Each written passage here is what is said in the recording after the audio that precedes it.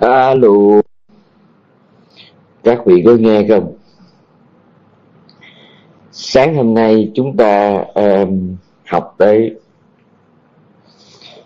những vấn đề mà tôi cho là cốt lõi là tinh hoa là tinh túy tinh tuyền nhất của Phật pháp. Đó là như chúng tôi đã giới thiệu hôm thứ hai đó là hôm đêm ngày thứ hai đó tức là ngày sẽ là phất. Sau khi mà ngài quán xét ngược xuôi 14.000 khía cạnh 14.000 vấn đề của toàn bộ tâm tạng ngài mới liên tục tựa là thuyết giảng ờ, cái bài kinh ờ, kiết tập này bằng cách là đưa ra những cái vấn đề những cái vấn đề những cái tiêu đề giáo lý uh, cốt lõi nhất. Cốt lõi là sao?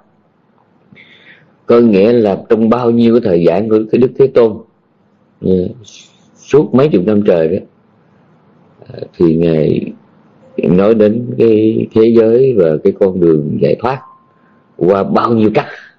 Thí dụ như có lúc đức thế tôn nói toàn bộ thế giới này chỉ gói gọn trong cái vấn đề thực phẩm thôi. Có lúc này nói đến thế giới này nó chỉ là cái chỗ hiện hữu của danh và sắc thôi. À, thì sáng nay à, chúng ta sẽ học tiếp theo cái nội dung của thế giới theo một cái hướng khác. Đó là thế giới này nó chỉ là cái chỗ ừ, hiện hữu ừ, của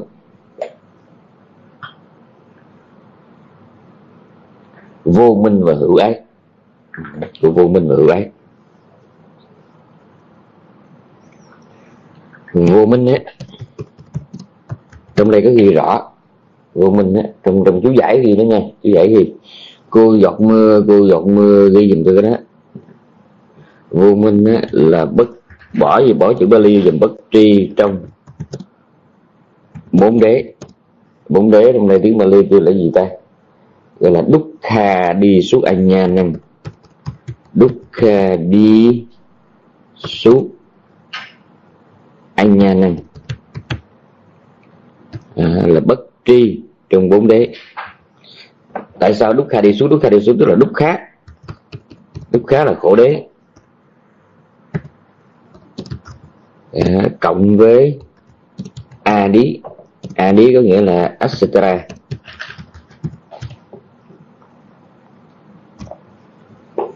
etc có nghĩa là vân vân.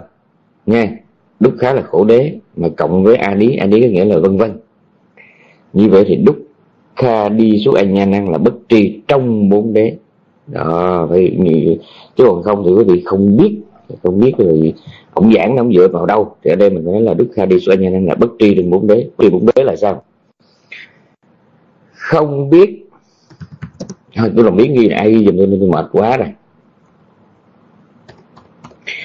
Không biết mọi thứ ở đời đều là khổ từ vị, từ cái thân tâm của vị chánh đẳng giác, từ thân tâm vị chánh đẳng giác cho đến một hạt cát, từ mặt trời, mặt trăng cho đến giọt nước. Tất cả mọi thứ có mặt ở đời này đều là đều là khổ hết, đều là khổ đế. Sự có mặt của danh sắc là khổ đế.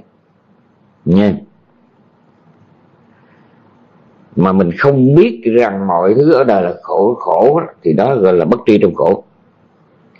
Thứ hai nếu mọi thứ uh, yeah, nếu mọi thứ là khổ đế à, mọi thứ là khổ thì à, đam mê cái gì cũng là trong khổ. À, chữ since hay là chữ once tức là từ từ từ chỗ hoặc là một khi ừ. một khi mọi thứ là khổ đó thì đam mê cái gì cũng là đam mê trong khổ. Và đam mê trong khổ đó chính là tập đế chứ, chứ mình à, các vị có thể giải thích tùm lum hết. Ờ, ba ái là khổ đam mê trong sáu trần là khổ lặp lặp là cái vị nói gì thì nói nhưng mà cách nói rốt ráo nhất đam mê trong khổ đế chính là tập đế. Tập đế chính là đam mê trong khổ đế. Phải nói như vậy mình mới thấy cái ngu của phàm phu nha. Tức là đam mê trong khổ đế chính là tập đế mà tập đế chính là đam mê trong khổ đế. Mà khổ đế là gì? Khổ đế là tất tần tật túc tùng tùng mọi thứ trên đời. À, rồi cái thứ ba muốn hết khổ thì phải ờ, nhàm chán trong khổ đế. Dạ, muốn hết khổ thì phải nhàm chán trong khổ đế. Là bởi vì nếu anh không nhàm chán nó, thì anh tiếp tục mất là sợ.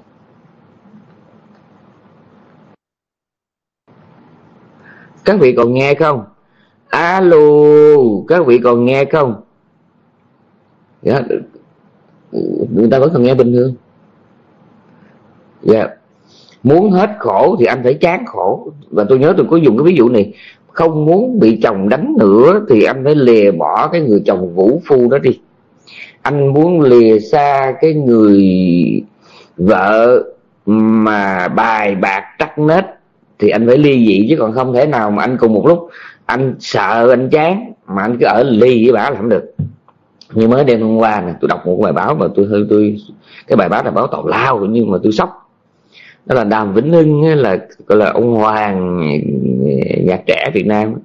Ông là online ông khóc. Ông nói rằng trong suốt 30 năm qua, ông đã còng lưng, ông trả hàng mấy chục tỷ tiền nợ cho mẹ ruột của ông. Tuy nhiên mẹ ruột của mình thì mình có chết cho mẹ thì cũng ok, không sao. Nhưng mà phải nói là ngán thiệt tức là mai là đó là mẹ chứ nếu đó là một bà vợ mà mê bài bạc thì mình chết. Tôi từng biết một người Việt Nam ở Sài Gòn mỗi năm họ chơi đề đó là phải là năm bảy chục ngàn đô la. Và thân nhân ở hải ngoại đó là mỗi năm đó là phải đi cài như con trâu rồi đó để mà rót tiền về trả cái số nợ đó. Thì cũng vậy mình muốn chán mình là mình không muốn khổ nữa thì mình phải biết chán sợ cái khổ đế. À, phải chán sợ khổ đế mình chán sợ bài bạc thì phải lìa bỏ đó. Thì cái hành trình mà chán sợ khổ đế đó gọi là đạo đế. Nha cái hành trình đó là tam học cũng được mà bác chánh đạo cũng được. 37 à, pháp trợ bồ đề à, à, rồi thất giác chi. Nói kiểu gì cũng được hết. Lặp lặp lặp là là cái hành trình chán sợ. Khổ đấy. Nhớ nha. Còn tất cả những cái kiểu mà bây giờ tôi khổ quá tôi đi bài bạc tôi khổ quá tôi nghiện ngập. Say xưa tôi vùi mình trong những cuộc tình chống vánh tôi khổ quá tôi mới đi theo một cái tông thái tàu lao ví đao nào đó thờ cúng thần linh. À, mong đi về một cảnh giới này nọ bla bla bla thì tất cả những hành trình đó không phải là hành trình chán sợ khổ đế. Mà cái hành trình chán sợ khổ đế đó là tôi phải tu tập theo 37 cái pháp trợ bồ đề. Nói rộng còn nói hẹp một chút đó là bắt chánh đạo. Hẹp nữa đó chính là tam học nha. Thì cái hành trình chán sợ khổ đế được gọi là đạo đế chỉ có cái hành trình đó mới được gọi là đạo đế. À, khi mà ba la mật à, mà đầy đủ à, khi ba la mật đầy đủ thì cái sự chấm dứt hẳn hoi à, cái niềm đam mê trong khổ đế đó à, mới diễn ra thì cái sự vắng mặt của cái niềm đam mê được gọi là diệt đế à, vì à, Phật dạy. Phật dạy sao ta? Ái diệt là niết bàn. Nhớ nha ái diệt cái là niết bàn. Cái câu này có à có trong kinh nha. Ái diệt chính là niết bàn. Ừ. như vậy thì cái thứ nhất, mọi thứ ở đời là khổ, nên cái hệ quả của của nó là đam mê cái gì cũng là đam mê trong khổ. Anh muốn hết khổ thì anh phải có mặt trên cái hành trình chán sợ khổ đế hành trình đó gọi là đạo đạo đế nha. Và ngày nào đó, cái niềm đam mê nó vắng mặt, thì cái niềm đam, cái sự vắng mặt đó được gọi là diệt đế đó là chuyện thứ nhất. Chuyện thứ hai, cái này quan trọng nè đế nó tạo ra khổ đế. Ừ. Nên nó được gọi là sa mú đa gia là môi sinh là môi sinh. À, là cái nguồn tạo tác khổ đế. Còn đạo đế đó mã mặt đơn mắt ga đó là cái con đường dẫn đến. À, nhớ cái này nha. Dẫn đến đó, là naya à, dẫn Nati dẫn đến diệt đế alo bà con bà con còn nghe rõ không? Bà con ghi cái này cái này là nhiều khi bà con tưởng là tôi nói đùa nhưng mà nó gần như là là thật mà nói thật theo cái kiểu đùa. Cái này là phải xăm lên trên người của mình mà xăm bằng mực đỏ ha xăm bằng sữa con so đó nha. Xăm bằng mực đỏ mà xăm bằng sữa con so. Tập đế nó tạo ra nó tạo ra cái chữ tạo ra này phải phải phải, phải nhớ chữ tạo ra viết bằng mực đỏ tập đế nó tạo ra khổ đế, nên nó được gọi là samudaya, cũng là môi sinh hay là cái nguồn tạo tác.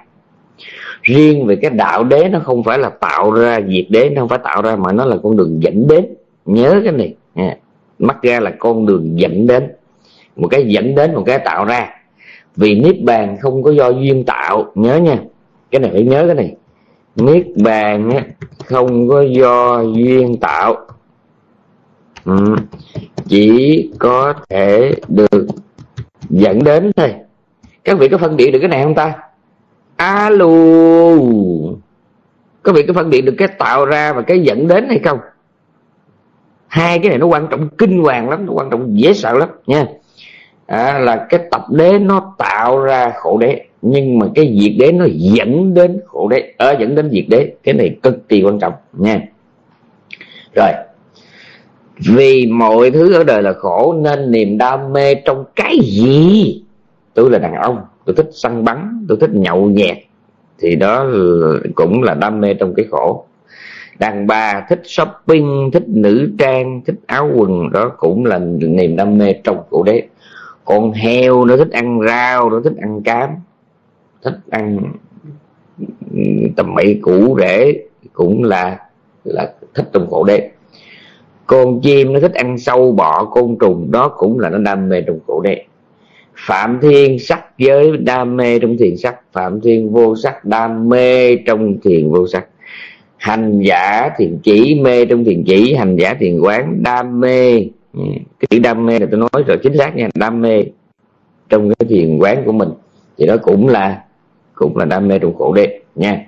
Tôi biết tôi nói cái này gây sốc nhiều người mà tôi vẫn phải nói có nghĩa là anh còn thấy rằng tôi hay quá tôi giỏi quá niệm của tôi mạnh quá tuệ của tôi mạnh quá mà tôi còn thích thú trong đó. Tiếng Bali gọi là ni cầm tiếng quý pasana ni cầm tí có nghĩa là cái sự ham thích trong ngay và cái sự tiến bộ của mình. Trong cái lúc mà tu quán ấy, cũng là tham ái. Tức tập đệ lẽ ra thì ta chỉ cần dùng niệm và tuệ để quan sát mà thôi. Nhớ nha nhớ nha, cái này quan trọng. Lẽ ra thì ta chỉ dùng niệm và tuệ ta quan sát. Ví dụ ta biết ở đây là hỷ giác chi đây là trạch giác chi đây là cần giác chi. Đây là sân truyền cái đây là dục truyền cái. Đây là à, khổ thọ lạc thọ nói chung là bốn niệm xứ. Thay vì mình chỉ dùng niệm và tuệ để quan sát còn đằng này mình vui quá vui thì mình thấy lúc này mình tiến bộ quá tiến bộ đi.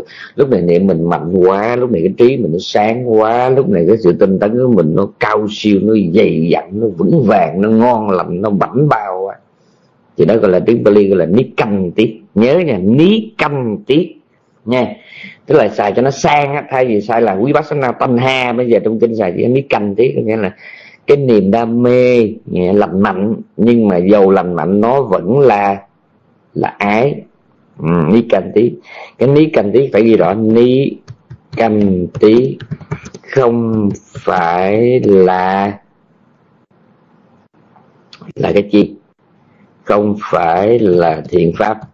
Nhớ nha biết không biết trong rừng có nghe kịp cái này không ta? Tôi hoan hỷ hoan hỷ trong thiện pháp á, à, là hỷ giác chi là thiện pháp. Nhưng cái sự ham thích dạ, trong cái bước gọi là tiến bộ của mình á là ni cành thì à, là cũng là pháp ái. Nhớ nha làm ơn nhớ dùm tôi cái này. À, nhớ dùm cái này. Mà mà các bà con trong room có phân biệt được cái này không ta? Hoan hỷ Ừ, trong cái sự tu tập nó nó không giống với cái đam mê không giống với sự ham thích. Hai cái này là chỉ có hành giả biết thôi chứ không có ai mà biết dùng được hết. Tức là người nào trong thời gian đó mình gặp họ thấy họ cũng vui hết. Họ nói tu tập quan nghĩ quá an lạc quá nhưng mà hai cái người nói cái câu đó giống nhau nhưng mà một anh á, thì ảnh bị mắc trong cái ni canh tí. Nhớ nha còn anh là ảnh sống ở trong cái hỷ giác chi. Hai cái này mình có thể ví dụ như thế này nè.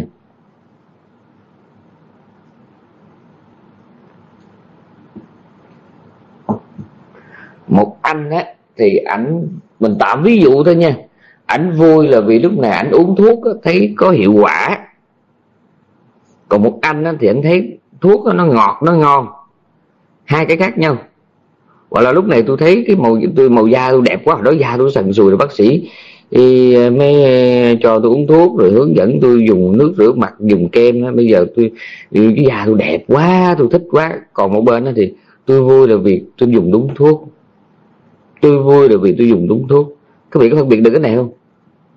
Một bên vui là vì tôi dùng đúng thuốc còn một bên nó vui là vì lúc này à, tôi ngon lành quá tôi da tôi đẹp quá. À, hy vọng là tôi sẽ được ừ, ngon lành hơn tôi sẽ bla bla bla bla. Hai cái khác nhau. Một cái, một cái anh mà anh vui là vì anh dùng đúng thuốc á. Nó không giống với cái anh vui là vì lúc này da anh đẹp. Nha hai cái khác nhau. Rồi. Như vậy thì thế giới này là chỗ gặp nhau của của tham ái và vô vô minh. Vô minh là vô minh là bất tri trong trong bốn đế. À, còn cái hữu ái là gì? Hữu ái là tháo vát tháo vát tầm hè. Ở trong uh, Bali chú giải giải thích là phá qua patthana phá qua patthana có nghĩa là ước vọng tái sinh. Mong mỏi tiếp tục có mặt trong đời. Nha.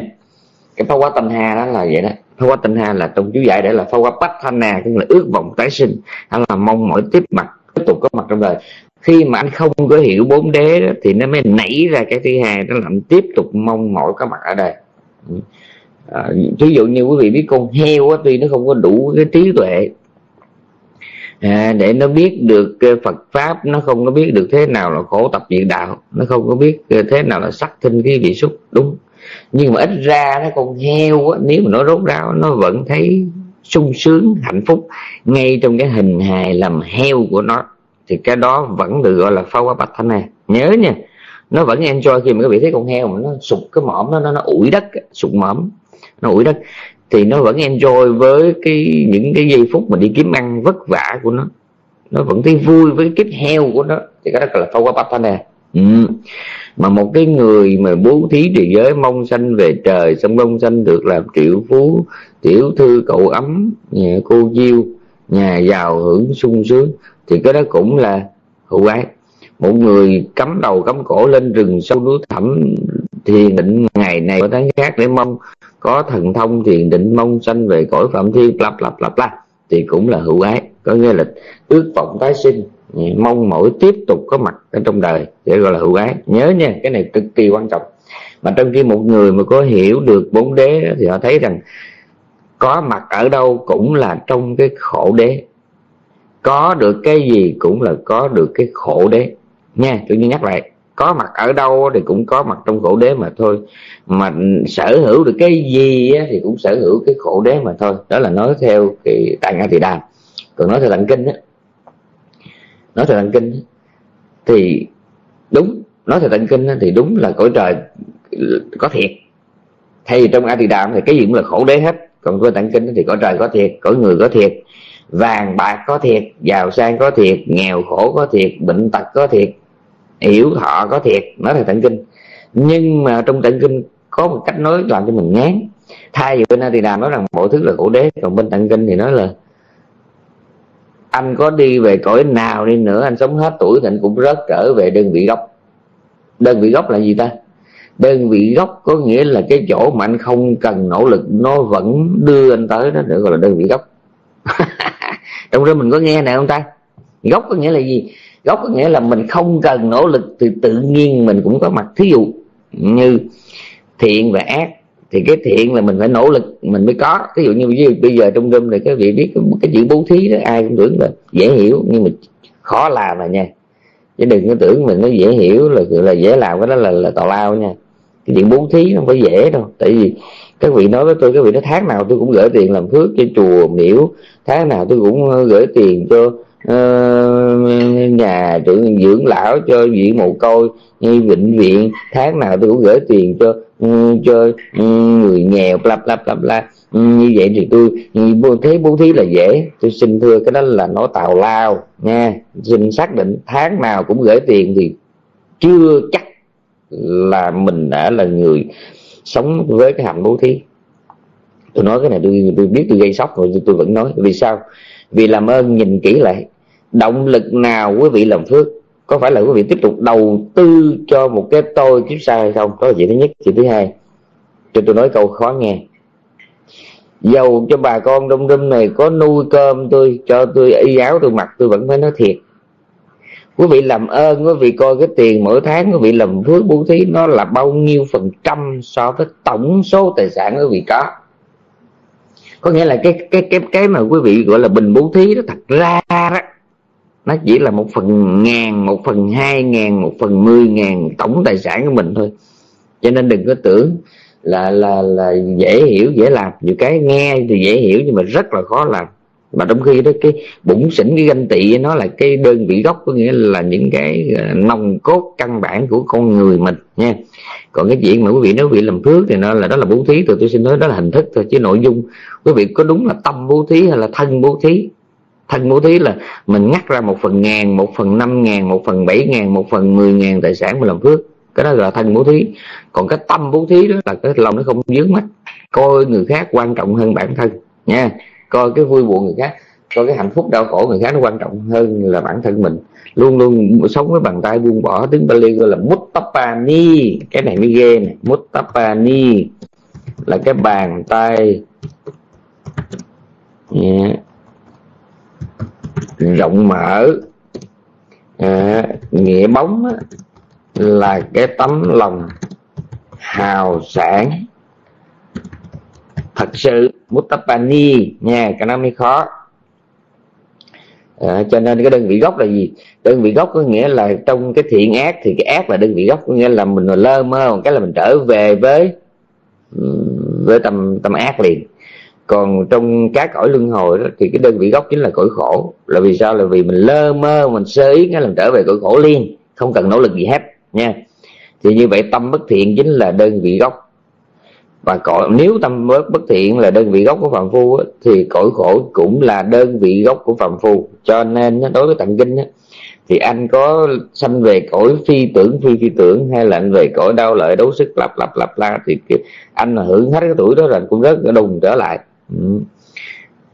thì theo như trong tỳ bà sa nói rằng là đạo sĩ a tư đà ừ. asita là a tư đà à, à, là sau khi mà mãn kiếp à, vô sắc. Phi tưởng phi phi tưởng à, thì sẽ trở về cõi dục. À, sau cái kiếp động trời người gì đó sẽ sinh làm con trồn trong núi. Nghe chưa? Đạo sĩ a tư đà đó. Ừ. tức là sau khi mà mãn kiếp vô sắc phi tưởng phi tưởng thì trở về cõi dục. Ờ, sau kiếp độn kiếp độn là gì? Theo thông kinh a tỳ đàm nói đó là một phạm thiên ấy, mà, mà mà mà mà mà hết tuổi thọ đó thì họ không có đọa trực tiếp được bởi vì nhờ cái quả báo của thiền định họ không có đọa thẳng mà phải qua một cái kiếp trung gian tôi gọi là kiếp độn cái kiếp chèn kiếp nhét á tức nghĩa là họ trước khi họ bị đọa là họ phải qua kiếp trời hay người có dục xong rồi hết cái kiếp đó họ mới bị mới là bất định trôi dài ha. Thì ở đây cội phẩm ở đây là đạo sĩ a tư đà là cũng gì thấy tu hành ghê gớm. Không ờ. nhưng mà sau 84 ngàn đại kiếp ở trên đó xong rồi trở xuống rồi, trải qua một kiếp độn dài ngắn. Trong kinh không nói rõ mà chỉ nói là sau kiếp độn đó giảm sanh nó làm con trộn mà đã làm tròn rồi đó thì quý vị phải đồng ý với tôi một chuyện đó là bất tắc đây là, là vô đó rồi là coi như là cái đoạn đường sau đó là mịt mù vô phương nha. Cho nên đừng có ngồi đó mà làm thơ. Tự mình làm phước à, bố thí giữ giới nghe pháp ba mớ ngồi thiền ba mớ là cái những đời của ta là thênh thang đời ta màu hồng màu tím nha. Ok cho nên chính vì vô minh trong bốn đế cho nên là chúng ta mới tiếp tục sinh tử. Đó là một thứ hai nữa. Chính vì vô minh trong sinh tử cho nên chúng ta mới có cái hữu ái. Có nghĩa là Phawapatthana là mong mỏi có mặt ở đời đời này đời khác. Nói thưa A Thì Đàm thì có mặt ở đâu cũng là có mặt trong khổ đế. Có được cái gì cũng là có được cái khổ đế. Nói theo tạng kinh thì sanh về cảnh giới trời người nào đi nữa sống hết tuổi thọ thì cũng tiếp tục đọa lạc mà thôi. Ừ, đó nói theo tạng kinh. Xin chưa rồi, tiếp theo là hữu ái và vô hữu ái. Như vậy thì nếu mà phân tích như nãy giờ đó, thì chỉ riêng cái vô minh hữu ái là nó đủ toàn bộ thế giới này rồi, nha. Từ con ông cái kiến cho đến các cái tầng phạm thiên cao nhất, tất cả đều nằm gọn ở trong vô minh và và hữu ái. Và toàn bộ trong râm mình sáng nay chúng ta đang sống với vô minh và hữu ái. Ừ. Ừ. Nhưng mà cái vô minh hữu ái của mình là nó khác cái người không biết đạo. Tôi nhắc lại. Ở đời có hai hạng biết đạo và không biết đạo. Ở đời có hai hạng người à, biết đạo và không biết đạo. À, biết kiểu thánh nhân á, là tuyệt đối rốt ráo biết bằng sự thân chứng thể nghiệm biết kiểu phàm phu á, là biết qua văn và tư là do nghe học đọc của ai đó rồi tự mình à, lý luận suy diễn. Tôi nhớ tôi đã nói không biết bao nhiêu lần chính thức trên các cái buổi giảng đại chúng hay là với cá nhân. Tôi nói rằng trên cái đời này nó không có cái gì mà nó tào lao mà nó tầm bậy cho bằng học đạo ba mớ rồi thấy mình hay. Vì sao? Vì ba lý do. Vì ba lý do. Thứ nhất à, có nhiều người còn giỏi giáo lý hơn mình.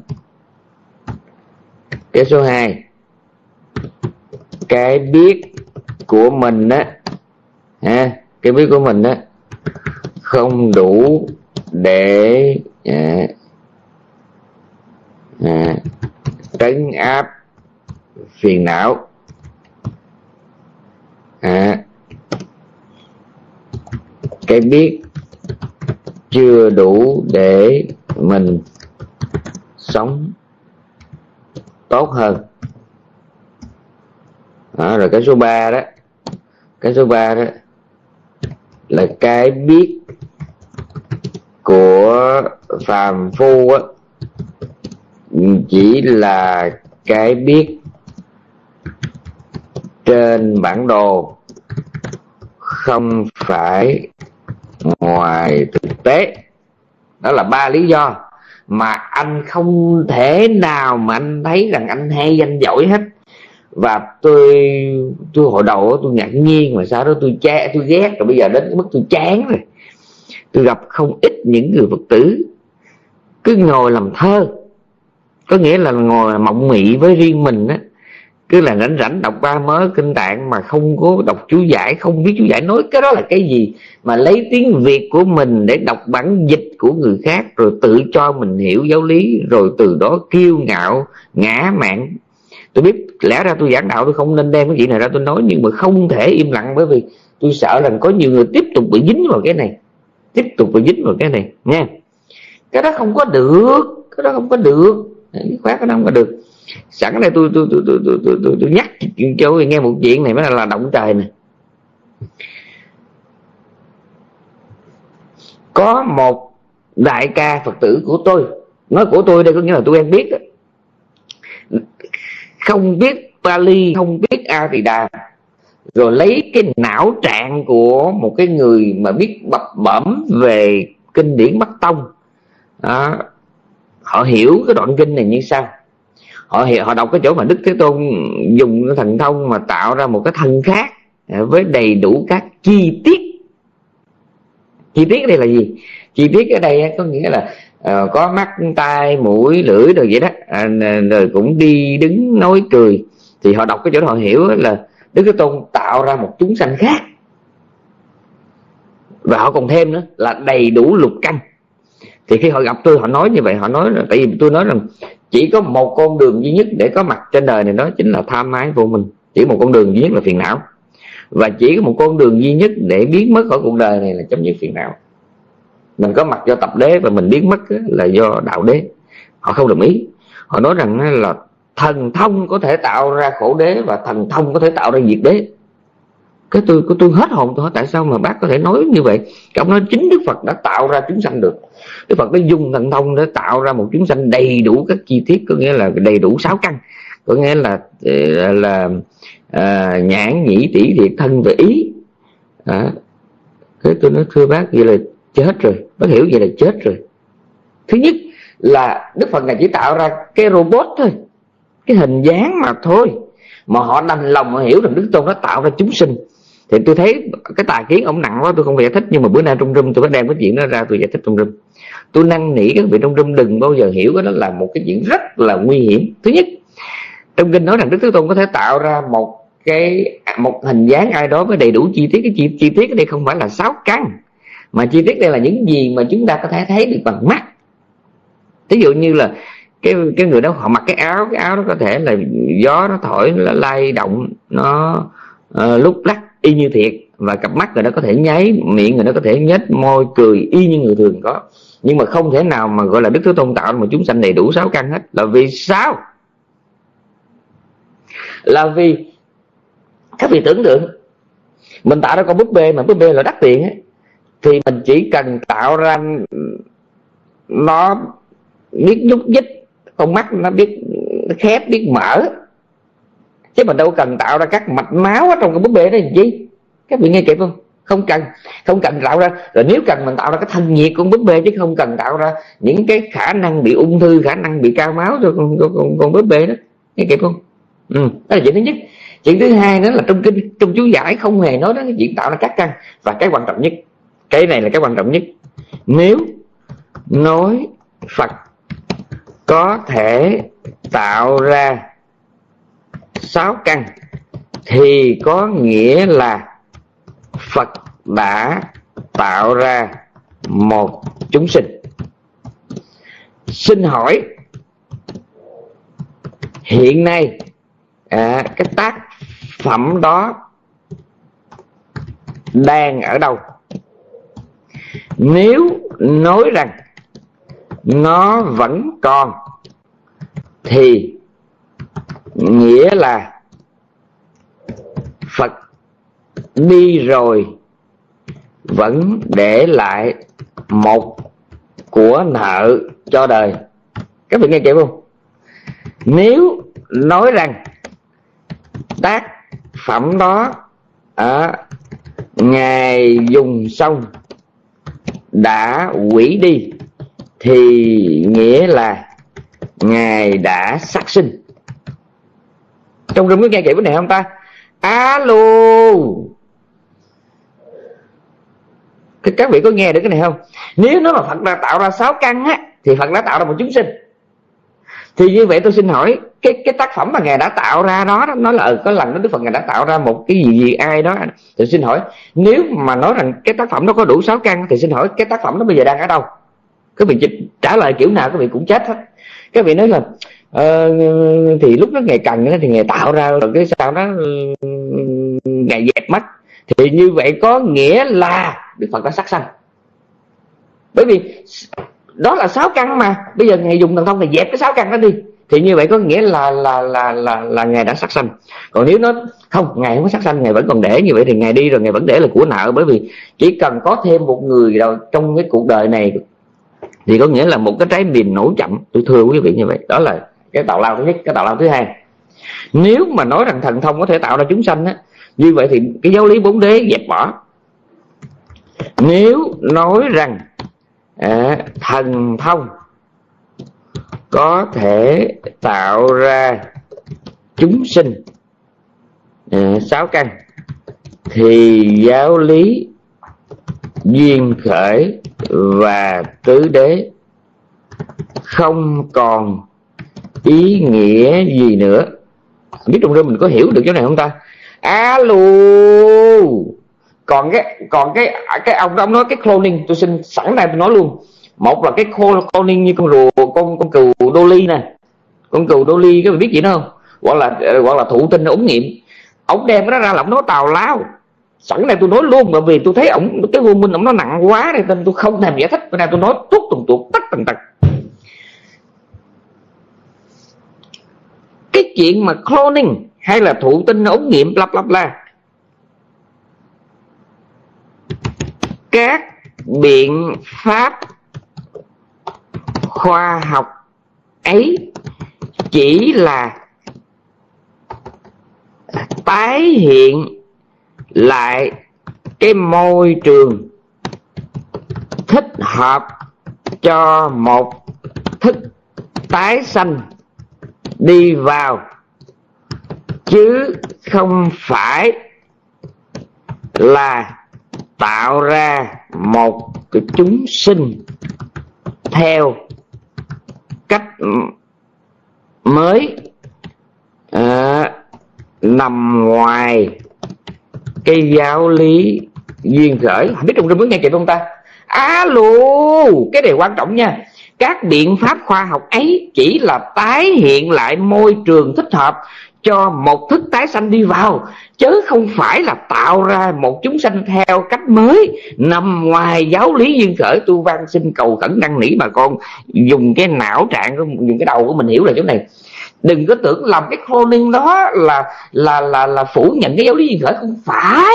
Mà nếu mà có con cừu đu ly thiệt thì đó là người ta tái hiện lại cái môi trường thích hợp thôi. Thí dụ như bây giờ các vị thấy nhật bổn họ trồng rau thay vì họ trồng ngoài đất bây giờ họ đem vô ở trong mấy trong trong phòng ờ, họ tạo ra cái cái cái cái cái cái, cái điều kiện ẩm ướt rồi ánh sáng nhiệt độ nha các vị cứ trong rừng nghe kịp không? Ẩm ướt ha.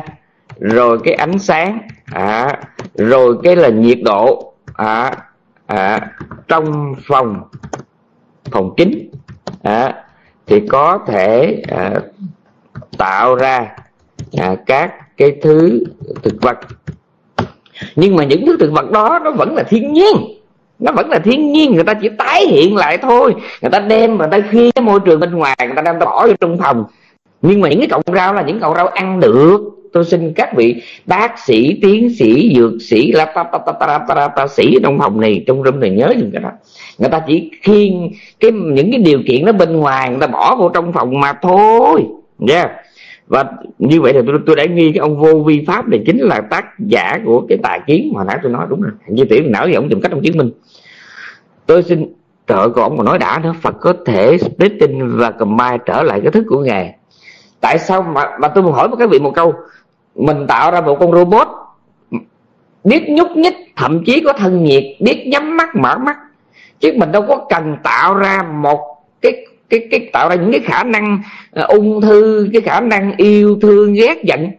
Cái chuyện đó chỉ không cần. Đó là cái không cần nhất. Cái mà thứ hai đó là cái chuyện đó chỉ không thể. Ừ. chỉ không thể đã không thể rồi còn không cần nữa. Cho nên bữa nay tôi sẵn cái cái room này tôi làm túc tùng tuột luôn cái vụ đó để bà con đừng bao giờ tiếp tục có cái bài kiến như này rồi xong không. Cảm ơn cô giọt mưa nhưng mà tôi vẫn phải giải thích. Chứ không giải thích là tôi sợ tiếp tục cái tài kiến này nó sẽ được uh, truyền bá ra nguy hiểm lắm. Rồi bây giờ tôi trở lại bài học. À, thế giới này là chỗ gặp mặt của chỗ gặp mặt và là chỗ làm việc của vô minh và hữu hữu ái. Rồi bây giờ tiếp theo. Đã giải thích xong bây giờ tiếp theo. Thế giới này là chỗ thế giới này là chỗ hợp mặt và làm việc. À, sáng nay tôi giải thích được đó tôi thấy vui quá. Làm việc của hữu ái và vô hữu ái. Hữu ái là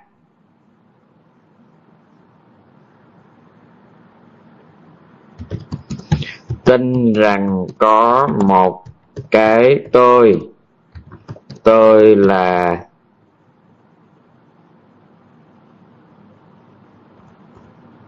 một thực thể à, đơn thuần bất biến. Đơn thuần là gì ta? Đơn thuần có nghĩa là solid nha là solid là pure. À, not composition. À, rồi cái gì nữa? Đơn thuần bất biến. Đơn thuần bất biến. Mở một đơn. Không có vô vô thường. Đó tin, hữu ái là tin rằng có một cái tôi. Tôi là một thực thể đơn thuần mà lẽ ra mình phải hiểu rằng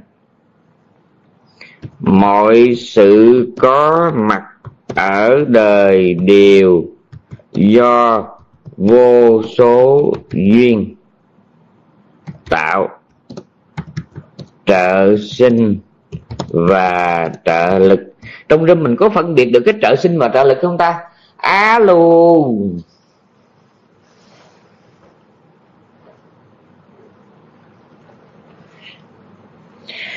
Trợ sinh và trợ lực.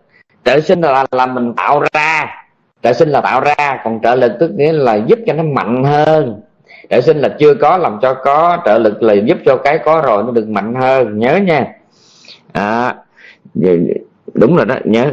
Mọi sự ở đời là do vô số duyên tạo. À, mà duyên ở đây nó gồm cái gì? Nó gồm có cái trợ sinh và trợ lực. Trợ sinh là chưa có làm cho có. Còn trợ lực là có rồi làm cho mạnh hơn làm cho kéo dài. À, thì cái đó được gọi là trả lực à, chứ còn không có cái gì trên đời này nó là là đơn thuần là bất biến nó là một nó không có. Không bao giờ có một cái một ở trên đời này thậm chí một khoảnh khắc thôi. Ví dụ như nó bây giờ tôi tôi vui thì quý vị biết theo a đàm cái cái khoảnh khắc mà vui đó, đó là nó có đủ thứ trong đó. Là có uh, thọ tưởng hành thức rồi có uh, tâm sở ờ, xúc thọ tưởng tư mạng quyền tác ý rồi có tham có tà kiến có ngã mạng có hôn trầm lấp lấp lấp la đủ thứ trong đó. Một là một cái một second một một cái một cái khẩy móng tay đó là cái niềm vui nó ngắn như vậy đó ha mà trong cái khoảnh khắc mà vui ngắn ngủi đó nó cũng có tùm lum tâm sở trong đó.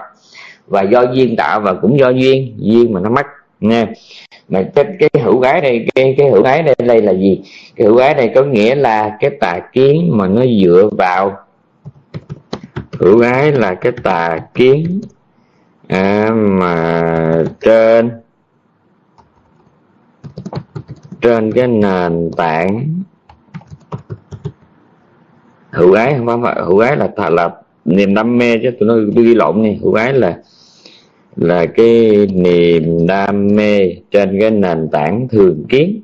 À, trên nền tảng thường kiến. Mà thường kiến còn có ba trong trong còn nhớ không ta? Thường kiến có ba.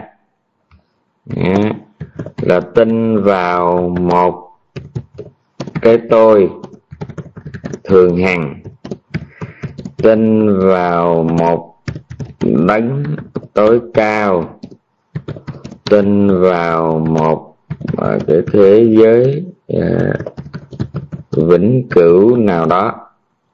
Thì ba cái này được gọi là thường kiến nha. Tin vào một cái tôi thường hằng tin vào một đấng tối cao uh, như chúa trời hoặc allah bla bla bla rồi tin vào một cái thế giới vĩnh cửu nào đó thì cái đó gọi là thường kiến ừ. lẽ ra phải hiểu rằng mọi thứ do duyên tạo có rồi phải mất nghe. À, đó là nói theo tạng kinh. Còn nói theo tạng a đàm thì mình phải biết được cái duyên sinh và duyên diệt. Duyên sinh là sao? Duyên sinh có nghĩa là do thì thí dụ nói chúng sanh mình đi do vô do do nó cái dòng duyên khởi nó là một cái hình tròn khép kín không có điểm bắt đầu mà cũng không có điểm kết thúc. Ừ, cho nên bắt đầu đâu cũng được mà cái điểm bắt đầu thường được nói đến nhiều nhất đó là vô minh. Do vô minh trong uh, tứ đế nên mới có tạo ra các nghiệp thiện ác tức là tức là vô minh duyên hành. Do có nghiệp thiện ác nên mới có thức tái sanh tức là hành duyên thức. Rồi cái thức tái sanh đó, nó mới tạo ra cái danh sắc đầu đời cái gọi là thức duyên danh sắc mà từ cái danh sắc đầu đời nó mới có lục nhập tức là sáu sáu sáu căn. Mà có lục nhập thì nó mới có sáu xúc sáu thọ. À, xúc là cái sự gặp nhau giữa căn cảm thức. Còn thọ là cái cảm giác có được từ cái sự gặp gỡ đó. Nha rồi nếu không có tu tập đó, thì từ sáu thọ nó sẽ dẫn đến sáu ái à, và từ sáu ái đó cái sáu ái đó, ở cái mức độ non yếu thì gọi là ái mà ở cái mức độ sâu đậm đó, thì gọi là thủ ha. Sáu ái đó nó nó nó nó nó, nó, nó, nó biến tướng thành tứ thủ. Mà tứ thủ nó nó chính là hai hữu nghiệp hữu và sanh hữu. Nghiệp hữu tức là các cái thức tái tục. Đó xin lỗi các cái nghiệp các cái nghiệp thiện ác. Còn sanh hữu là các thức tái tục nói như vậy có nghĩa là đến đây thì cái vòng tròn đó nó được tái hiện trở lại. Vô minh duyên hành hành đây là các nghiệp thiện ác, mà hành duyên thức thức là các tâm tái tục. Thì qua tới tứ thủ tứ thủ thì nó lại tạo ra hai hữu. Mà hai hữu này nó gồm nghiệp hữu và sanh hữu. Nghiệp hữu nó chính là hành và sanh hữu nó chính là thức. Các vị nghe kịp không? Tức là cái nghiệp thiện ác đời quá khứ mình gọi nó là hành à, rồi thức tiếp tục đời quá khứ mình gọi nó là thức. Nhưng mà tới cái hiện ngay trong đời hiện tại này đó thì nghiệp thiện ác nó được gọi là sinh là gọi là nghiệp hữu. Còn cái thức tiếp tục mình nó tạo ra cho kiếp sau mình gọi nó là sinh hữu. Có nghĩa là cũng là nó thôi nhưng mà có một lúc nó mang tên này có lúc nó mang tên khác. Trong room có nghe kịp ông ta? Alo và chính vì rồi cái chính vì có nghiệp có cái thức tái sanh cho nên mình mới là có mặt trong đời làm là chư thiên, ma vương, phạm thiên, trâu, bò, heo, ngựa ừ, con người. Rồi hãy có thân thì nó phải có có sanh, có già, đau chết, sầu bi, khổ, u não. Muốn mà không được, thương mà phải xa ghét, mà phải gần lặp lặp lặp lặp rồi trong cái khổ đó đó, người ta mới đi tìm cái lối thoát bằng cách là tạo ra các nghiệp thiện ác mà tại sao tại sao khổ quá rồi tìm tạo ra các nghiệp là bởi vì do vô minh uhm. do khổ quá à, tìm cách à, trốn thoát nhưng vì vô minh nên à, tiếp tục à, tạo ra các nghiệp à, thiện ác và đầu thai vào các cõi vui khổ. Có nghe kịp không? Cho nên ở trong trong kinh nó có câu thế này là, cha ra cha ra marana muchaya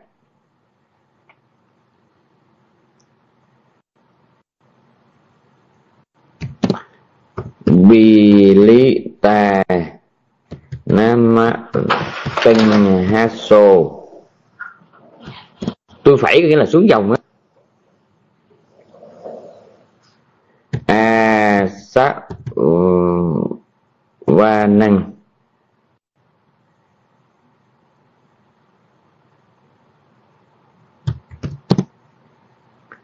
sa mấp ba đa a quýt cha cha bao quắp thì cái câu là câu tôi thuộc lòng á. Tức là do quay cuồng trong các khổ ở ờ, sanh già đau chết mà phàm phu luôn tái hiện các lậu hoặc và từ đó vô minh à, có mặt để tạo ra các hành thiện ác. À, mở ra cái vòng quay khởi mới đó cái câu nó như vậy.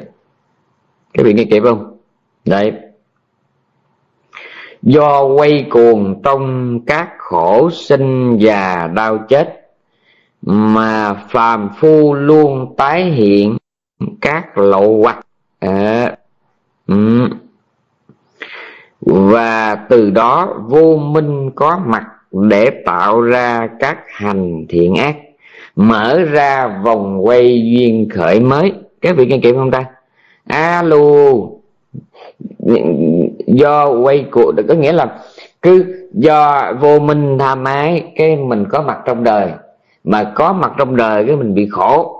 Mà khi bị khổ cái mình trốn khổ tìm vui bằng cách là mình tạo các nghiệp thiện ác. Tôi xin các vị để ý kỹ rồi đi từ một đứa bé mà nó nằm nôi đó cho đến một cụ mà hấp hối trên giường đó. Suốt mấy chục năm trời đó là cái hành trình trốn khổ tìm vui.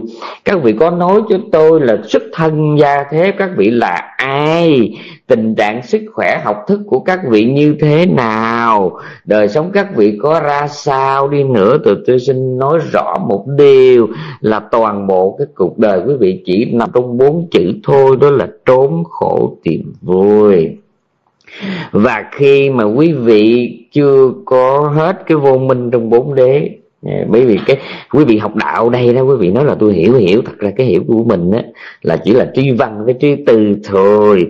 Tri văn là do mình nghe, mình học, mình đọc yeah, còn thứ tư là do mình lý luận suy diễn. Nha mà cái lý luận suy diễn đó cũng là nằm ở trong cái nhìn hạn chế theo cái não trạng của phàm phu mà thôi. Và tôi đã nói rõ rất là nhiều lần cái biết trên trí văn và trí tư á, về Phật pháp nó chỉ là cái biết trên tấm bản đồ thôi. Tấm bản đồ đó là mình thấy ở Bắc là nhiều Nam nhiều độ à, tông tây là bao nhiêu kinh tuyến vĩ tuyến lặp lặp la là mình nói chung là cái tọa độ đó. Ừ, biết được cái tọa độ cái chỗ đó là vậy vậy vậy. Cái con đường tới đó là đường a ba mình quẹo phải sẽ đi đâu quẹo trái đi đâu lặp lặp la vậy thôi. Chứ mình không có cái biết giống như cái người mà đang có mặt trên cái con đường đó. Cái đó là phải là trí tuệ tu chứng thân chứng thể nghiệm nha. Cho nên là suốt cuộc đời của mình nó tiếp tục vẫn quanh nó trong cái trốn khổ tìm vui, giàu biết đạo hay không biết đạo. Bây giờ chỉ có cái điều là mình khá hơn một chút thì mình nhớ thế này. Tiền tài danh lợi không đáng để mình lấy đó là tự hào, tự đắc đã đành. Mà ngay đến cái đức hạnh hay là cái kiến giải Phật pháp thì nó cũng không phải là cái để mà mình à, kêu căng tự mãn. Nhớ nha. Ừ cho nên cái chuyện đầu tiên cái hữu ái là gì? Hữu ái là cái niềm cái cái cái cái cái, cái niềm đam mê trong cái uh, xin lỗi cái cái hữu cái hữu, hữu kiến chứ quên tôi đang giảng hữu kiến. Hữu kiến tức là cái tà kiến mà ừ, liên hệ đến thường kiến mong mỏi ừ, hướng đến ừ, một cái tôi thường hành mà dựa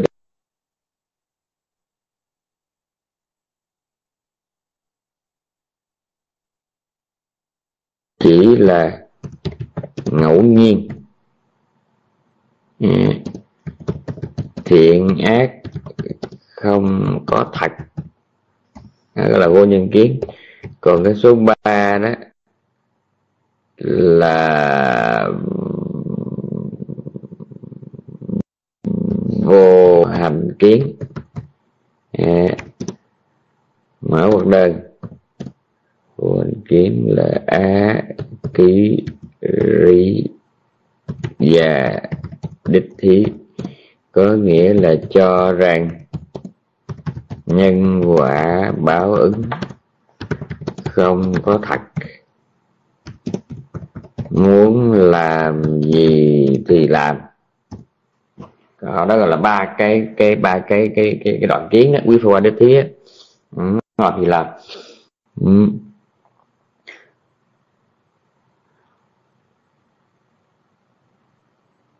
thay vì hiểu rằng mọi thứ ở đời do duyên mà có thay vì phải hiểu mọi thứ ở đời do duyên mà có hiểu duyên ấy, thì người ta cho rằng mọi thứ ngẫu nhiên mà có, hoặc do một cái tôi nào đó tạo tác, hoặc một đấng tối cao nào đó sáng tạo. À, các vị nghe kịp không? Rồi thứ hai thay vì phải hiểu rằng mọi thứ sau khi có mặt do các duyên trợ sinh trợ lực yeah. Thì cũng sẽ do duyên mà biến dịp thì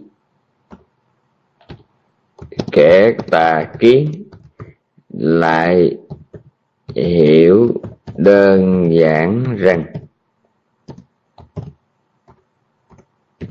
mọi thứ tự nhiên biến mất hoặc do ý muốn của ai đó. Rồi, nhớ cái này nha. Thay vì phải hiểu rằng mọi thứ sau khi có mặt do các duyên sinh trợ, các cái duyên trợ sinh trợ lực rồi cũng sẽ do duyên mà biến diệt ấy, thì kẻ tài kiến lại hiểu rằng mọi thứ tự nhiên biến mất hoặc do ý muốn của ai đó. Tôi nhắc lại theo tinh thần rốt ráo của a tỳ đàm thì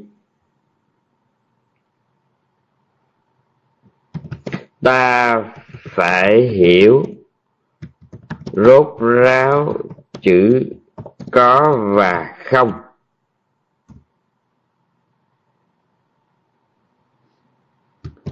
Chỉ có khổ vui, chứ không có người khổ vui. Chỉ có cái sự hiện hữu của các duyên, chứ không có sự hiện hữu của ai cả. Đó, là mình hiểu đúng còn đằng này á là một là mình tin là có một ai đó có một người đó có một cái tôi nào đó. Cái, cái hiểu cái cái có đó là không được. Mà cái, cái không mà, mà mình hiểu theo cái kiểu mà phàm phu tà kiến cũng không được. Có nghĩa là mình phủ nhận toàn bộ. Không được mình lần cho rằng không có cái gì hết là cũng không được. Mà phải nói là có là có cái gì mà không là không cái gì. Không có ai hết, không có cái tôi nào hết thì đúng. Nhưng mà nó vẫn có các duyên, có cái sự có mặt của các duyên. Có phân biệt được hai này không? Một là phủ nhận hết, cho rằng không có cái gì hết là không có đúng. Nó có chứ, nó có nhưng mà nó có các duyên, nó có các pháp thôi. Chỉ có các pháp tùy duyên mà có. À, không có ai. Không ai cả. Nha nhớ nha cái này biết trong trung có nghe kịp này không ta? À, có là có như vậy đó mà không là không như vậy đó. Ừ. không có một cái tôi nhưng mà nó vẫn có các cái pháp tùy duyên mà có. Cái đó có thật chứ. Yeah à, có cho nên ở trong ở trong chú giải có câu thế này. Chỉ có sự khổ không có ai bị khổ. Chỉ có nguyên nhân sinh khổ không có ai tạo khổ. Chỉ có sự vắng mặt của khổ.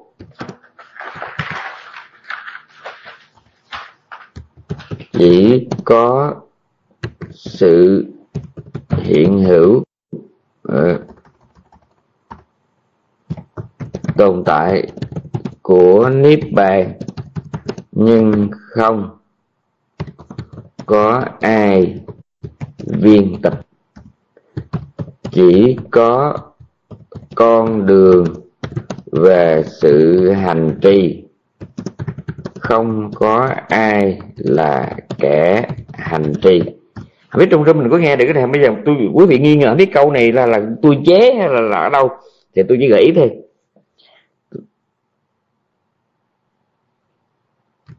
Đúng. Còn nhớ không ta?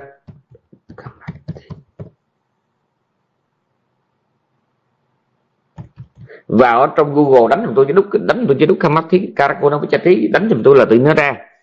Mà ở đây có một nhân vật tên là trần thiện tôi biết trần thiện là, là ai? Mà cái, cái nhân vật này biết nhiều nè. Nhớ nè. Trong room còn nhớ cái câu Pali này hay không? Alo trong room còn nhớ hay không? Dukkamathi Karakona với tí dạ vậy là được rồi. Cái này quan trọng gì lắm. Đúng đây có người nói giờ sư có giảng rồi nữa chứ. Là thấy khỏe rồi. À, chỉ có sự khổ không có ai bị khổ chỉ có nguyên nhân sanh khổ không có ai tạo khổ là sao? Tham ái có mặt thì đó chính là nguyên nhân sinh khổ chứ không có màn mà thằng tèo tham ái tham ái của thằng tèo là sai đét không có thằng tèo. Đang tham ái tham ái của thằng tèo là không có đúng mà chỉ cần biết là tham ái đang có mặt. Tham ái chính là nguồn nguồn khổ chỉ vậy thôi. Rồi, rồi ngoài tham ái ra thì tất cả còn lại đều là khổ đế hết nha còn mà đạo đế là gì? Đạo đế chỉ là bát chi đạo trong cái hành trình chán khổ thì mới gọi là bát chi đạo. Bát chánh đạo còn ngoài ra là cái giống gì trong cuộc đời này cũng là khổ hết, nha. Ừ. cái gì cũng đời này cũng là khổ hết.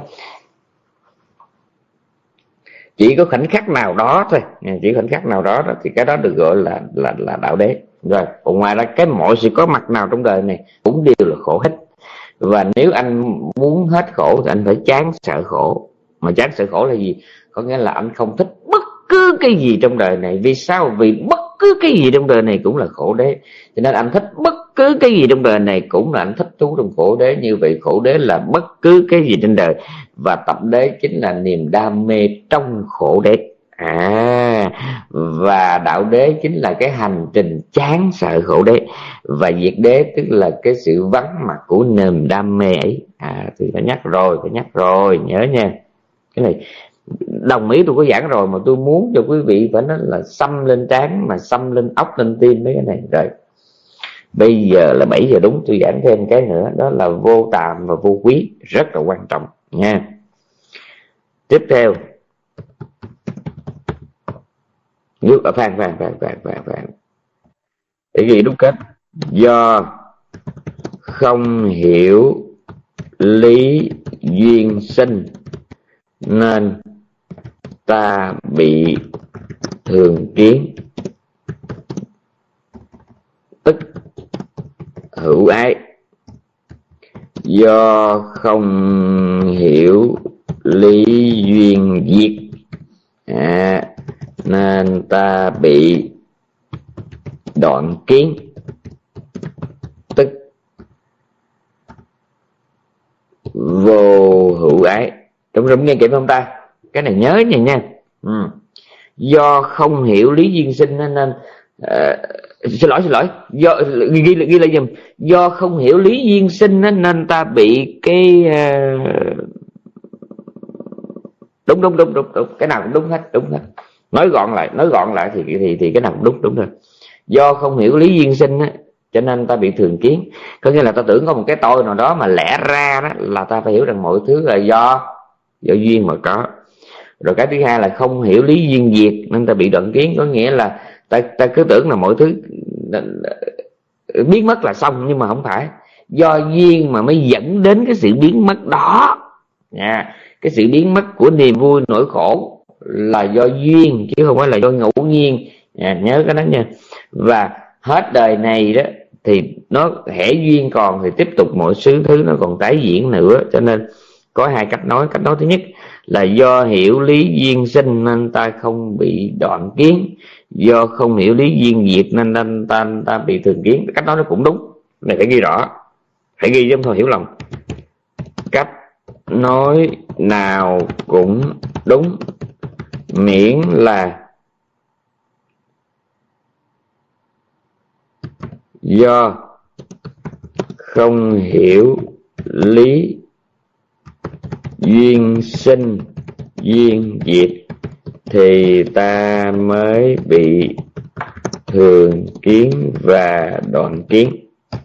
À, cái câu này quý vị phải nhớ cách nói nào cũng đúng miễn là do không hiểu lý duyên sinh duyên diệt thì ta mới bị thường kiến và đoạn kiến rồi xong. Tiếp theo. Phan xin lỗi. Như vậy thì trong đó mình hiểu cái phần mà mà mà mà, mà thường kiến là hữu hữu kiến và vô hữu kiến chưa ta?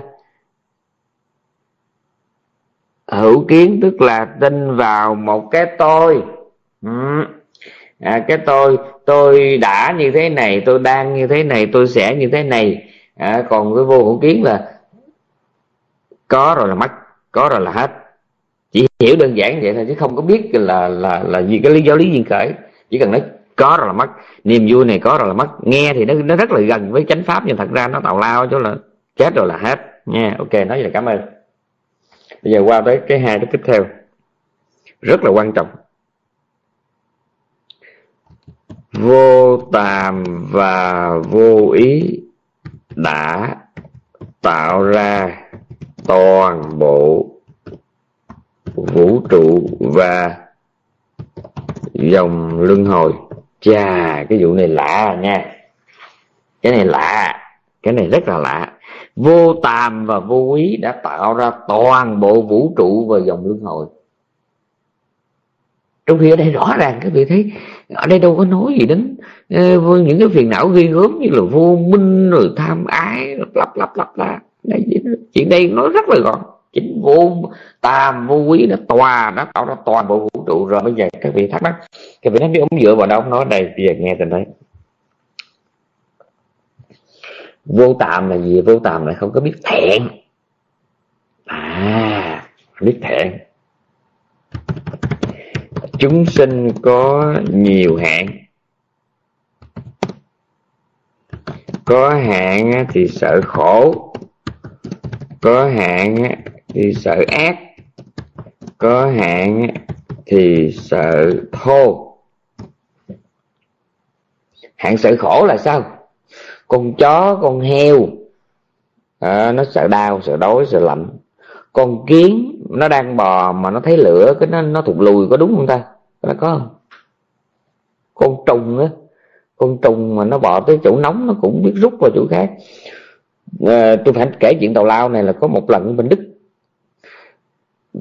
Người ta tới người ta làm cái hàng rào cho tôi người ta phải trộn hồ trộn xi măng. Người ta làm việc cả ngày buổi chiều người ta mới mới mới rửa mấy cái bài rửa mấy dụng cụ thợ hồ rồi rửa cái, thùng mà trộn xi măng ấy, người ta rửa xong người ta mới đổ xuống dưới đất. Tôi đâu có biết. Vừa đổ xuống đất xong nó là mấy con trùng ở dưới nó nhảy vọt lên. Thì ra là nó mặn quá. Chữ quý ở đây là chữ u u và y quý đó là sợ. Nha có nhiều người họ nhiều người họ viết chữ quý nên là chữ q q q q u thì không? Phải là quý đó là chữ u chữ y quý là sợ thì uh, nó nhảy vọt lên lúc đó tôi mới hiểu à thì ra tuy con trùng nó chỉ có bảy cái cái thần kinh rong thôi nhưng mà nó cũng biết sợ chứ. À, nó cũng biết sợ đau chứ. À, nó biết sợ đau. Như vậy thì phải nói rằng nó là là là tất cả chúng sinh trong đời này nó có ba hạng. Một là sợ khổ cái hạng thứ hai là gì ta? Là sợ ác. À, cái hạng thứ nhất thì, thì thì thì sợ khổ thì ai cũng sợ nhưng mà chỉ sợ khổ thôi đó thì là hạng thấp kém còn cái hạng cao hơn một chút là sợ khổ mà còn biết sợ ác nữa cái gì mà xấu họ ngại. À. rồi cái hạng thứ ba là sợ thô. Thô là sao? Sợ ác có nghĩa là mình không có sát sanh trộm cắp mà mình thích bố thí trì giới. Nhưng mà đến cái hạng cao cấp hơn họ thấy rằng còn sanh ở trong các cái cõi dục đó, cũng còn thô nó không thích hành thế họ mới là thích hành thiền. Thiền sắc rồi họ chán thiền sắc họ mới lên thiền vô sắc rồi khi mà lên tới thiền vô sắc, họ thấy vẫn còn tiếp tục ở trong cái dòng sanh tử luân hồi. Thì họ mới chán luôn. Như vậy thì chúng sanh có ba hạng. Tức là sợ khổ, sợ ác và sợ thô. Sợ thô có nghĩa là luôn luôn hướng tới cái better. Biết có hiểu được không ta? Cái thứ nhất là chỉ sợ cứ nghĩa là chỉ, thứ nhất là chỉ sợ bad feeling thôi. Nhưng mà cái thứ hai là bắt đầu là sợ bad action.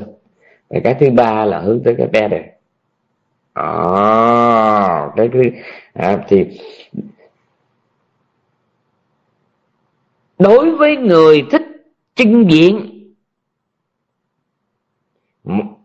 tôi nói quịch tẹt luôn chẳng hạn như các minh tinh đi mà họ phải mặc hai lần cái áo là họ thấy thẹn cái đó có không ta? Có không? Dễ sợ chưa? Tại khi cái anh nhà nghèo á là anh chỉ cần mặc ấm thôi khá hơn chút thích mặc đẹp khá hơn chút nữa thích mặc đồ hiệu. Nhưng mà khá hơn chút nữa đó thì bộ đồ nào mà anh thấy xuất hiện trên báo chí mà hơi nhiều lần đó là tôi hình như anh không khoái lắm nếu tôi không lầm nha. Uh-huh.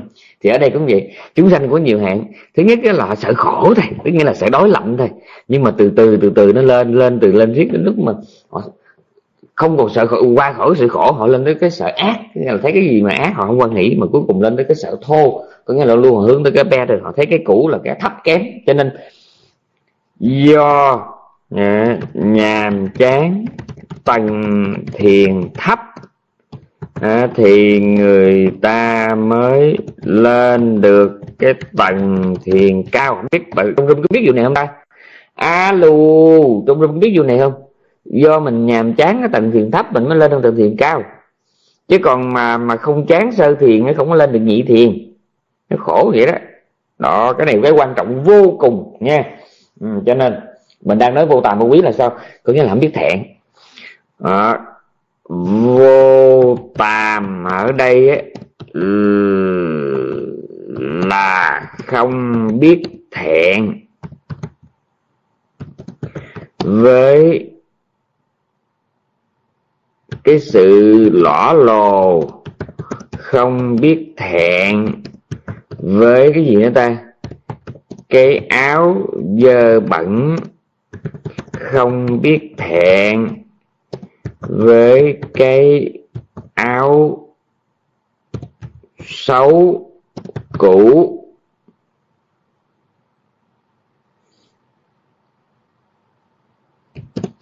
Không biết thẹn. Với cái áo đắt tiền nhưng mà mặc hoài. Ở đây là ẩn dụ thôi nha. Alo. Ở đây là ẩn dụ thôi. Ẩn dụ thôi. Nghĩa là vô tạm đây là gì? Thứ nhất là không có biết thẹn với sự lõ lồ nè. Rồi thêm nữa là không biết thẹn với cái áo dơ bẩn nè. Rồi thêm nó là không biết thẹn với áo xấu cũ nè. Rồi thêm nó là không biết thẹn với cái áo đắt tiền nhưng mà mặc hoài. Không biết thẹn. Thì ở đây cũng vậy. À, cái chữ vô tàm á tôi nhắc lại là là ẩn dụ thôi. Chứ các vị mà mà định mình lấy nguyên cái định nghĩa này mà mà đi thiên ra chỗ khác rồi nó sẽ nguyên nói thì, thì tôi chỉ nó cắn lưỡi tôi chết nha. Đây tôi chỉ ví dụ thôi.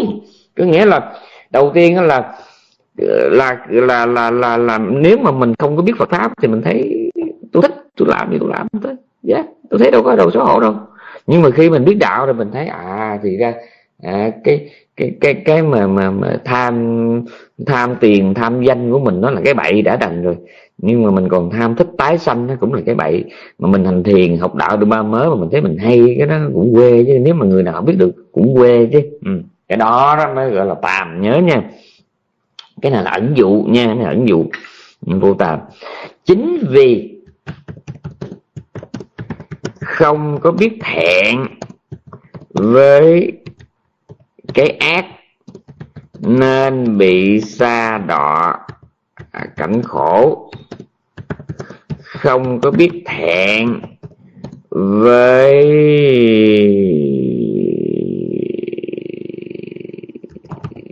dục ái nên mới sanh cõi nhân thiên.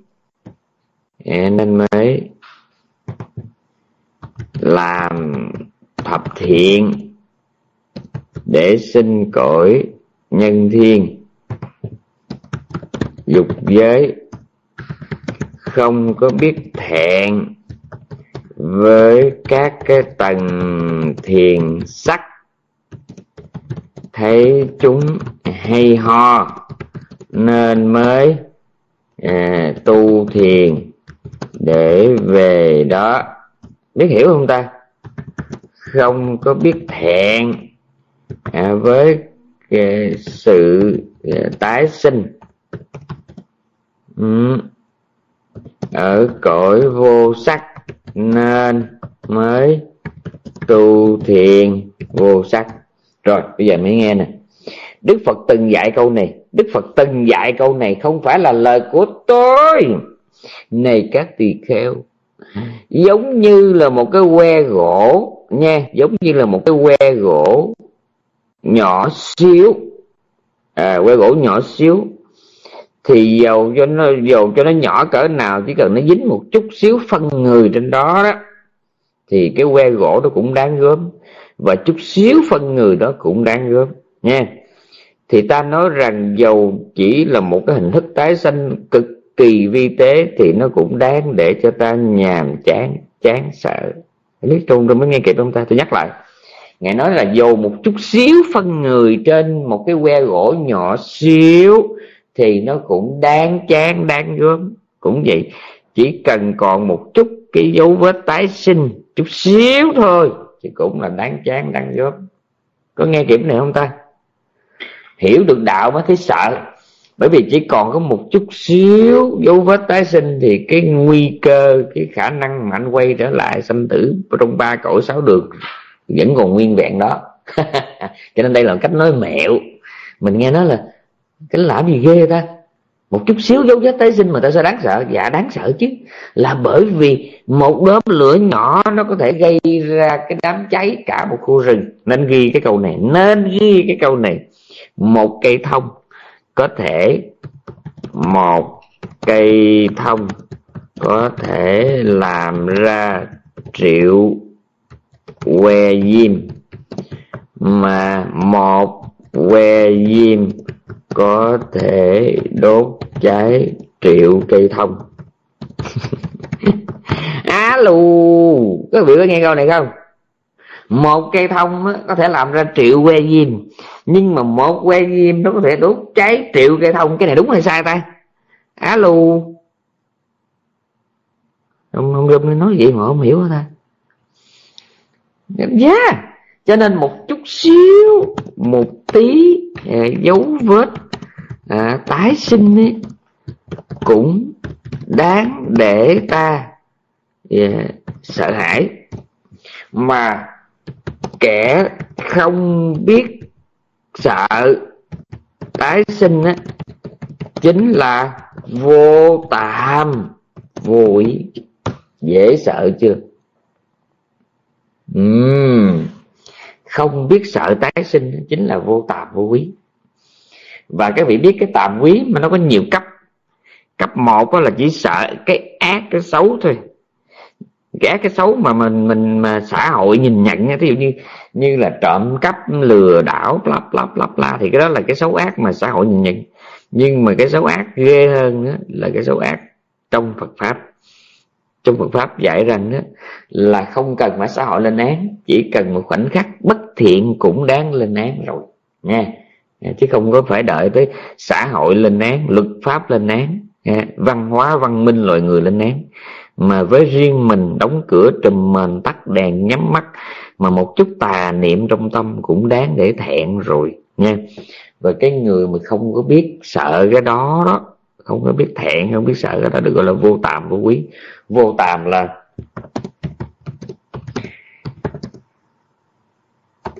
không có biết thẹn với cái ác lớn nhỏ thô tế vô ý là không biết sợ với cái ác lớn nhỏ thô tế. Các vị trong râm còn nhớ trước khi mà đức thế tôn niết bàn ấy, ngài có một cái câu nói là lời dạy sau cùng của phật trước khi nhắm mắt viên tịch là gì ta? Vạn hữu là vô thường không nên dễ ngươi à, dễ ngươi ấy, ở đây đã tiếng vali là gì ta? Là ma đó à ma đá gồm có ba nghĩa pháp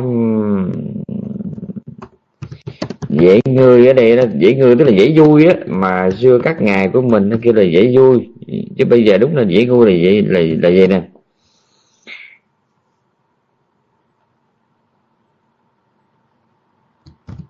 Cho đó là điều ác nhỏ rồi làm. Cho đó là điều thiện nhỏ rồi không làm rồi cái thứ ba là gì? Không e sợ những cái hình thức tái sinh vì tế. Thì đó gọi là dễ ngươi. Cho đó là điều ác nhỏ rồi làm. Cho đó là điều thiện nhỏ rồi không làm. Và cái thứ ba là không e sợ những hình thức tái sinh vi tế. Thí dụ như mình à, sợ đọa địa ngục nè, sợ làm con heo, con gấu, con bò nè, sợ mang thân người nữ nè à, sợ mang thân nhân loại nè à, rồi không muốn ở cõi dục thấy nó thô thiển nè lặp lặp lặp lặp nhưng mà dầu cho anh có tái sinh ở đâu đi nữa nha dù anh có sướng có thông minh anh có đẹp anh có giàu anh có sang anh có trí tuệ lặp lặp lặp lặp lặp lặp lặp lặp thì bất cứ hình thức tái sinh nào cũng đáng sợ hết. À, cho nên đây là ba cái điều gọi là dễ ngươi. Một là cho đó là điều ác nhỏ rồi làm. Thứ hai cho đó là điều thiện nhỏ rồi không làm. Thứ ba là không có biết sợ những hình thức tái sinh vi tế. À, nhớ nha. Ừ. thì như vậy rõ ràng cái vô tàm vô quý mà phân tích cho tới nơi tới chốn nó thì nó nó nó nó, nó, nó sâu lắm nó rộng lắm. Có nghĩa là cái vô tàm vô quý mà mình hiểu nó đến giờ đó là ừ, ừ, ừ, không sát là sát sanh trộm cắp mấy cái đó là vô tàm vô quý đúng nhưng mà nó tính sâu tính xa ra đó. Nói rốt ráo thì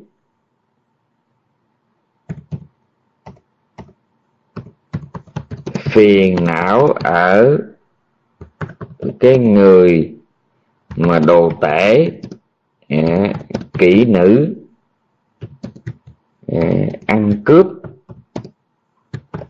cũng giống hệt như phiền não ở một người đam mê trong thiền định các cõi. Vì sau cùng đều là sự quẩn quanh? Luân hồi.